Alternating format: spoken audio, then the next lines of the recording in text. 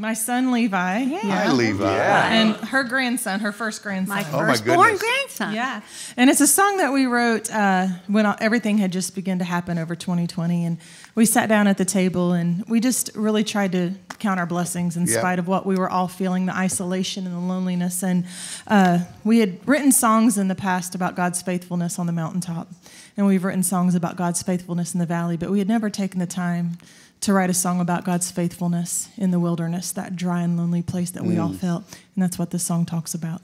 Great.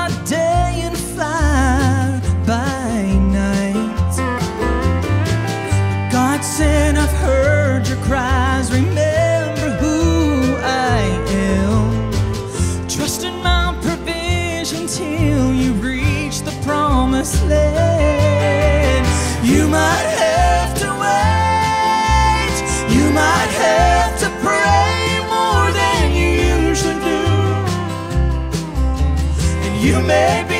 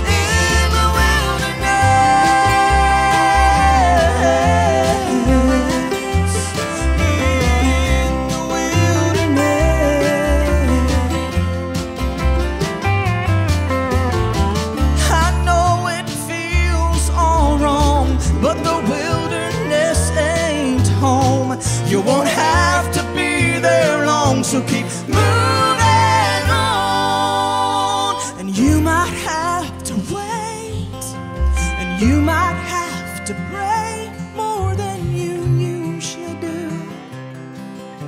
And you may be afraid, you may have lost your faith in all you ever knew. But my God won't lead you where He won't keep you, and He'll be with you.